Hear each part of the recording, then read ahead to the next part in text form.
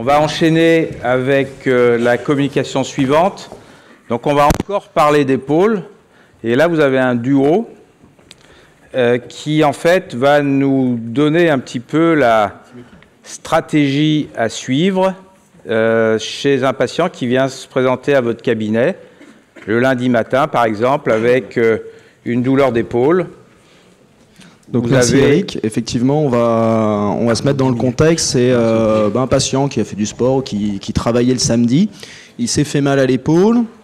Il est allé aux urgences et là, bon, il a eu, euh, il a vu l'urgentiste, il a eu son examen complémentaire, sa radio, et l'urgentiste lui a dit bon bah il y a rien à la radio, ça doit être une contusion, donc bah, allez voir euh, lundi votre médecin généraliste pour qu'il continue euh, votre prise en charge ou allez, je vous prescris 10 séances de kiné, allez voir votre kiné pour qu'il vous prenne en charge. Alors Arnaud, nous on a effectivement parfois le, patient qui vient directement nous voir. Euh, le patient, bah, il vient te voir pour savoir ce qu'il a. Euh, toi, tu veux surtout euh, éviter de passer sur un diagnostic qui, pourrait mettre en cause la, fonctionnalité de l'épaule, quelque chose qu'il faudrait opérer ou avec une prise en charge particulière, ou tu es kiné, tu n'as pas envie de faire de bêtises. comment tu vas mener l'enquête pour savoir vers quoi tu t'orientes, que ce soit le diagnostic, des éventuels examens complémentaires à réaliser en plus Alors on replace ça marche Alors on replace donc le tableau clinique. Patient, il arrive chez vous, impotence après un traumatisme, examen considéré comme normal sur la radiographie. Euh, on ne déroge pas à l'examen clinique. Euh, on ne se jette pas sur les radios, sur le patient. On va reprendre toutes les bases de l'examen clinique. Donc première chose, l'interrogatoire. Alors l'interrogatoire, qu'est-ce que c'est? C'est est-ce que le patient a déjà eu des problèmes d'épaule? Est-ce qu'il était connu euh, pour avoir eu des antécédents au niveau de son épaule? Et ça, déjà, ça va pouvoir nous orienter. Si le patient vous dit, oui, je me suis déjà luxé trois fois l'épaule il y a un an, deux ans, trois ans, on va pouvoir se poser la question, est-ce qu'il n'a pas fait une nouvelle luxation? Si le patient vous dit, oh, je j'ai eu une infiltration il y a deux ans ou trois ans, mais c'était une tendinite. Alors déjà, quand le patient vous parle de tendinite, faut tout de suite mettre la le, feu euh, clignotant sur potentielle rupture de coiffe. Énormément de nos patients nous parlent de tendinite traitée dans le passé. En fait, c'était des ruptures de coiffe. Euh, ça, c'est déjà donc très important. Et puis l'interrogatoire sur le, les modalités de l'examen. Euh, est-ce que le patient a ressenti une instabilité? C'est pas toujours fiable, mais est-ce qu'il a eu l'impression qu'il y avait une luxation auto-réduite? Est-ce qu'il a eu l'impression que son épaule bougeait? Est-ce qu'il est tombé sur le bras? Est-ce que c'est un choc direct? Donc vraiment, l'interrogatoire, c'est la première chose. Après, Philippe, je pense qu'on va continuer l'examen clinique avant de se jeter sur la radio. Et continuer l'examen clinique, c'est quoi déjà? C'est regarder le patient? Qu'est-ce que tu vas rechercher? Alors, juste pour revenir sur l'anamnèse, aussi, le, patient qui s'est pas décrit, il a eu un gros trauma. Il y a eu un accident de voiture, il s'est pris une voiture sur le côté, ça fait mal, il a mal à l'épaule, euh, mais il ne sait pas décrire, il n'a pas ressenti de luxation, ça fait très mal. Pensez quand même à la luxation postérieure, où le patient n'arrive pas vraiment à décrire, c'est un choc violent, mais là aussi, choc violent, faites attention à la luxation postérieure. Euh, qu'est-ce qu'on va faire après euh, Effectivement, notre but, ça va être à la fois de diagnostiquer ce qui est grave et ce qui nécessite la vie spécialisée, et aussi diagnostiquer ce qui est le plus fréquent et donc donner une réponse simple, une prise en charge simple euh, aux patients.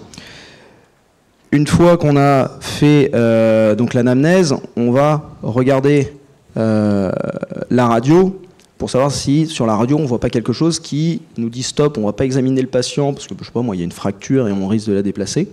Et donc on va analyser cette radio que le patient a réalisée aux urgences et qui a été étiquetée comme euh, normale. On a par exemple cette radio face profil, a priori rien de rien de particulier.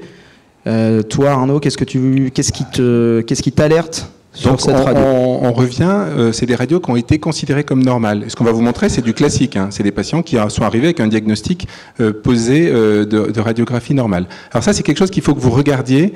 C'est typique. C'est la luxation postérieure passée inaperçue. C'est un grand classique. Le hasard fait que lundi, j'en opère, j'opère un patient qui est à 23 ans, qui est luxé en arrière comme ça depuis 6 mois et qui est passé dans un service de chirurgie orthopédique. Donc c'est pas une légende, c'est pas quelque chose qui traîne dans les livres, c'est la réalité du quotidien C'est une pathologie rare, la luxation postérieure. C'est 5% des luxations. Mais la luxation postérieure, sur la radiographie, c'est un examen difficile. Autant la luxation antérieure, on passe pas inaperçu, elle est très facile à diagnostiquer. Autant vous voyez que sur une luxation postérieure, la tête reste en regard de, de la glène, mais vous ne voyez plus d'interligne articulaire. Alors ça peut être dû à une mauvaise radio, mais si hum, la radio est bien faite, quelle que soit l'incidence, si on essaye d'enfiler l'interligne articulaire, on n'arrivera jamais à voir une euh, l'interligne articulaire. Et là, le diagnostic il est fait et ça se conjugue avec une, un signe clinique très particulier. Philippe, c'est quoi? On reviendra tout à l'heure sur le Oui, signe mais tu clinique, peux peut-être- alors, déjà, le patient il arrive, donc le bras en rotation interne, on le verra tout à l'heure. La rotation externe, elle est bloquée. Alors, que Ouais, ouais, regardez le- cette radio, et Philippe, tu peux passer la radio d'après, parce que vous allez voir le Là. scanner. Regardez le scanner, il est quand même beaucoup plus inquiétant que la radio. Et donc la là, radio, elle paraît subnormale, et là, vous avez l'épaule qui est luxée en arrière. Donc ça, c'est vraiment un des pièges diagnostiques classiques qu'il faut chercher à dépister. À partir du moment où on a évoqué la luxation postérieure, on y a pensé, il faut absolument euh, savoir exclure ou confirmer ce diagnostic. Donc au moindre doute, un scanner, on ne fait pas la prescription du scanner et on dit au patient euh, prenez rendez-vous, parce qu'il va avoir son scanner dans deux mois. Non, il faut vraiment pour le coup avoir un scanner en urgence pour une prise en charge rapide euh, de cette pathologie. Autre euh, radio considérée entre guillemets comme normale ou pathologie bénigne par l'urgentiste, fracture de clavicule, où bah, il arrive classiquement avec ses anneaux et euh, allez voir votre, mé- votre médecin généraliste dans 10 jours pour qu'il commence euh, à, prendre, euh, à faire la prise en charge rééducative ou à suivre le traitement orthopédique. Là, je rappelle encore une fois, les fractures cardistales de clavicule, ici, le problème, c'est pas la fracture, c'est la disjonction associée. Et ces fractures à déplacement du quart distal de clavicule, d'une part, ne se traitent pas par un os, mais par un coup de corps, mais aussi les déplacer nécessitent une prise en charge chirurgicale. Alors ça, c'est un, c'est pièges, hein. Donc, Ouais. euh, considéré comme normal aux urgences, le patient traumatisme, et donc là, l'urgentiste conclut à une calcification ici ou des calcifications. Donc bon, euh, il part sur euh, épaule douloureuse classique sur calcification. Qu'est-ce que tu... Mais là, c'est typiquement des fractures qui peuvent être peu, voire pas déplacées, euh, des tubérosités, notamment du trochitaire. Quand vous regardez à gauche, c'est une fracture operculaire du trochitaire. Si on regarde pas bien, pour peu que la radiographie soit pas faite dans de très bonnes conditions, on peut passer à côté. Ça, c'est important euh, parce qu'il y a une prise en charge spécifique. On va en parler après. C'est typiquement des fractures qui, si on les immobilise trop longtemps, euh, vont s'enraidir. Il n'y a pas forcément d'indication chirurgicale, mais il y a une prise en charge euh, en rééducation qui est bien spécifique, et donc il faut les dépister. On reviendra après. Ne pas hésiter à demander des examens complémentaires. Là, c'est un autre cas. Euh, C'était un, patient que j'avais pris en charge sur la radiographie de face. Alors là, vous voyez carrément rien. La radiographie de face, elle est normale. Sur la radiographie de profil, on devine qu'il se passe quelque chose en avant du trochin. C'est pas évident. Ça peut éventuellement être une, euh, euh, calcification. Le patient, ça reste, c'est un traumatisme, c'est un vrai traumatisme. Et vous regardez sur le scanner, c'est une fracture peu déplacée du trochin, la petite tubérosité. Ça fait partie des pièges diagnostiques. Donc, radiographie considérée comme normale, attention, il peut y avoir des pièges.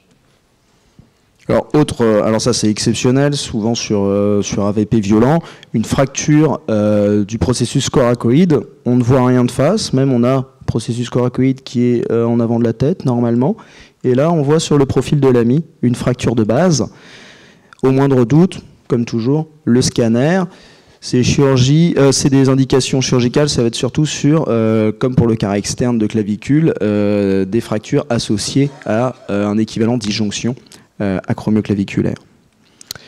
Donc après, bon, la radiographie euh, est normale, on confirme qu'elle est normale, il n'y a pas de fracture qui contre-indique euh, un éventuel testing euh, de l'épaule. Arnaud, qu'est-ce que tu vas euh, examiner en premier? Donc là, maintenant, on va se situer dans une, on va se mettre dans une situation où on va vraiment considérer que la radio est normale. On a éliminé les pièges diagnostiques. Donc, eh on va reprendre notre examen clinique. Et le reprendre, ça veut dire repartir par les bases. Première, euh, premières étapes, eh ben, c'est l'inspection. On recherche une échymose, on recherche une déformation. C'est la palpation euh, de certaines zones douloureuses. Alors notamment ici, la pathologie, une des pathologies les plus fréquentes, ça va être euh, le traumatisme au niveau de l'articulation acromioclaviculaire. Le diagnostic est simplexe, le patient est face à vous, vous appuyez sur l'acromioclaviculaire, ça fait mal là, ça fait pas mal de centimètres euh, médial, de centimètres latéral, ça fait mal au niveau de l'articulation. Vous pouvez sensibiliser le test en en faisant la, manœuvre du cross-arm test pour mettre en compression la clavicule par l'acromion. Ensuite, on va, le patient arrive, il est très douloureux, il est souvent euh, immobilisé euh, dans une attelle antalgique. Le premier réflexe à avoir, ça va être de tester les amplitudes passive, ça, même si le patient est douloureux, bon, vous y allez pas, euh, vous lui arrachez pas le bras, mais en y allant doucement, on essaye d'évaluer si la rotation externe est bloquée ou pas. Le patient a eu son traumatisme dans les 24-48 heures, il n'a pas eu le temps encore de s'en raidir par l'immobilisation. Donc si la rotation externe est bloquée, c'est qu'il y a un phénomène mécanique qui explique ce blocage, et ça, c'est vraiment le signe qui doit vous alerter sur cette fameuse luxation postérieure de l'épaule. Si vous avez la rotation externe euh, bloquée, vous regardez la radio, au moindre doute, examen complémentaire, notamment scanner. Juste pour préciser, alors c'est intéressant parce que on a donc éliminé euh, euh, sur la radio un, problème. Il n'y a pas d'échymose, pas de point douloureux, palpation. Philippe vient de donner le premier diagnostic. Rien que le testing de la rotation externe passive va nous orienter vers deux diagnostics. Philippe a donné le premier, perte de la rotation externe active, luxation postérieure hyper rotation externe, ça peut être une rupture traumatique du sous-scapulaire. Vous voyez que rien qu'en faisant ça, il n'y a plus le frein du muscle sous-scapulaire qui s'attache devant et qui empêche euh, d'aller au-delà de la rotation externe qu'on a de l'autre côté. Donc rien qu'en testant la rotation externe coup de corps passive, euh, euh, vous avez deux orientations possibles, luxation postérieure d'un côté, rupture traumatique du sous-scapulaire de l'autre. Alors, effectivement, après, si vous suspectez une lésion de la coiffe, ben, on va tester simplement euh, les tendons de la coiffe. Encore une fois, c'est un patient hyperalgique, donc c'est sûr que le job, vous n'allez pas pouvoir le tester. Mais, bon, rupture traumatique du, supraépineux ou décompensation d'une rupture du supraépineux, c'est pas non plus catastrophique. Donc, si on passe à côté, on se rattrapera plus tard en faisant des, examens complémentaires si le patient va pas bien dans un mois.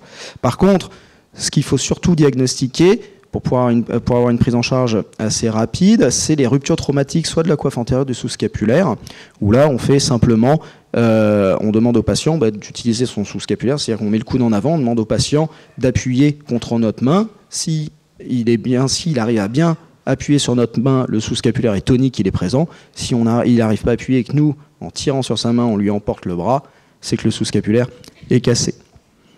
Donc Philippe l'a très bien dit, hein, vous faites pas un examen de coiffe normal en demandant au, patient de lever le bras et de tester le sus-épineux. Mais ça, c'est pas grave. Même s'il y a une rupture isolée du supraépineux, c'est pas très grave. C'est vraiment rechercher une rupture massive de la coiffe. Donc on, on contre-résistance, comme tu viens de le dire, on recherche une rupture massive du sous-scapulaire. On met le patient globalement comme ça, coup de corps, il peut toujours, on le sort délicatement de la telle et vous lui demandez de résister. Vous lui demandez de résister, hein, Philippe, le patient, vous le mettez comme ça, c'est tout à fait possible, vous lui demandez de résister, résister. Si le patient résiste, vous n'avez pas de grosse rupture de la, de la coiffe euh, de l'infraépineux. Si le patient, rien ne tient, hop, tout de suite, ça fait tilt, rupture de coiffe. Donc là, déjà, on arrive à la fin de ce testing très sommaire, puisqu'on ne peut pas faire grand-chose sur un patient traumatisé, et on va s'orienter, les radios sont normales, Qu'est-ce qu'on va demander comme examen complémentaire en sachant qu'on a en gros dans notre tête trois catégories de diagnostic. Soit c'est rien, c'est une contusion ou, et il n'y a pas d'urgence, même à demander des examens complémentaires. Soit c'est une potentielle rupture de la coiffe massive, et là tu vas nous dire ce qu'on va demander. Soit c'est une récidive ou une première luxation autoréduite. Alors diagnostic le plus fréquent, la luxation antérieure. Donc on complète euh, le bilan radiographique avec euh, des radios rotation interne, rotation neutre, rotation externe. Et là, on voit sur euh, ce cliché que ça démasque la fameuse encoche, c'est-à-dire l'impact de la tête sur la glène lors de la luxation, antérieure. On voit sur le profil de glène un émoussement entre guillemets une usure du bord antérieur de la glène lors des passages à répétition de la tête sur euh, cette vidéo. Alors, est-ce qu'on arrive à la passer un peu plus doucement? Euh, Le patient, ben, on est content parce que euh, cliniquement, ben, on a cette hyperrotation externe. on a le presse-belly, le testing du sous-cap qui est déficitaire. Donc on est content d'avoir fait le diagnostic clinique. Et donc là, on, prescrit cette, cette IRM. Arnaud, est-ce que tu vois des, toi quelque chose qui te, qui te saute aux yeux là? Ah, bah là, on voit bien, vous voyez, il montre avec la flèche, on voit qu'il y a une rupture complète du sous-scapulaire, on voit le sous-scapulaire là, voilà, on voit le biceps qui est, qui est en train de prendre la, de se subluxer en dedans. Donc ça, c'est un, exemple à l'IRM euh, d'une luxation, d'une rupture du, traumatique du sous-scapulaire. Donc vous avez éliminé sur euh, l'historique et d'éventuelles radios un problème d'instabilité, vous avez suspecté cette rupture du sous-scapulaire, vous la confirmez par une imagerie, et là en l'occurrence c'est une IRM, ça pourrait être un arthroscanner. Là, vous suspectez. Voilà. parfois, sur la radio, on voit rien. Donc, qu'est-ce que tu demandes, Philippe, pour confirmer une instabilité Si effectivement je m'oriente vers la coiffe, je préfère demander une IRM parce qu'il n'y a pas besoin d'injecter de produit de contraste. Si je m'oriente vers une instabilité, soit antérieure, soit postérieure, effectivement, je demande un examen complémentaire injecté pour à la fois faire le bilan des lésions osseuses et des lésions labrales. Pour moi, l'arthroscanner euh, est l'examen le plus compétent. Ici, on voit ce qu'on appelle le bony bancard, c'est-à-dire une fracture de glaine qui est bénigne en, soi, c'est pas la peine d'opérer une petite fracture de glaine comme ça, euh, mais qui témoigne d'un passage antérieur euh, de la tête humérale et donc qui confirme le caractère, à la fois l'instabilité euh, des pôles et le caractère antérieur de cette instabilité. Sur cet examen-là, on voit la fameuse euh, lésion de Bancard, pardon, qui est un décollement euh, du labrum antérieur. Et puis ici, la fameuse encoche, c'est-à-dire quand la tête est partie et est venue s'impacter contre le bord antérieur de la glaine, ça fait cette fameuse encoche.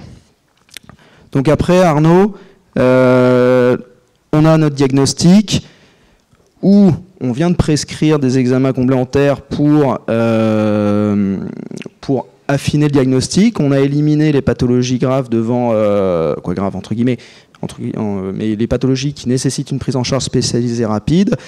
Euh, est-ce que ces patients, tu les immobilises? Quels patients tu vas immobiliser Quels patients tu vas pas immobiliser? Alors là, on arrive au, bout de notre screening. Soit on a une rupture de coiffe, massif, traumatique, très souvent on va s'orienter à ce moment-là vers un geste chirurgical. Soit on a un problème d'instabilité, première, récidivante, on oriente en fonction du type de patient, de ses activités, de son âge, du nombre de luxations.